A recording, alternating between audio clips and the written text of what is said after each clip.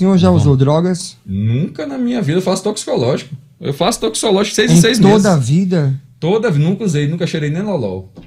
Bebe não. Fumo de vez em quando. Fuma. Sem mais perguntas. É droga, é? Cigarro? Não, Não, não. Eu, não, eu não uso mais Não, drogas. mas. Hã? Eu não uso mais drogas. E ele fuma, ele Eu, dizer... eu usei Muito já. bem, senador. Não, mas eu, eu gosto da sua honestidade em dizer e mostrar isso para as pessoas. É tanto que eu quero ajudar um garoto chamado Pablo, mas ele quer ajuda e não quer.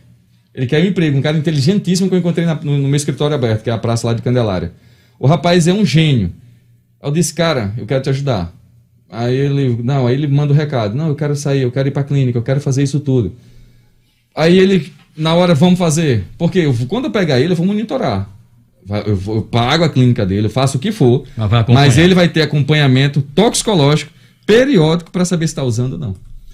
Entendeu? Entendi. Até arranjar emprego. Quem, quem, quem é a pessoa que está me ouvindo, que é comerciante, que é empresário, que vai empregar uma pessoa que é dependente de química? Você conhece? É, Dinarte, hoje lá no programa que eu apresento Conheço. em Mossoró, Que emprega? Que emprega pessoas que se recuperam. Ah, não, a dependente química. Que diz assim, Que está eu não saio, eu quero ficar aqui na droga. Não. Ei, Dinarte, é, hoje no programa que eu apresento lá em Mossoró, o seu livro foi sorteado. Todo dia se sorteia. Lairinho, é verdade, ele Lairinho- falou, Lairinho ele hoje falou. sa- sorteou um livro seu. Eu- Pergunta Dentro de custo. Não, eu não vou. Dentro de custo. Aí não, aí não. Aí escondeu a Não fonte, pode, não, não Pode, pode não. curiar. Não, A não, pode- não.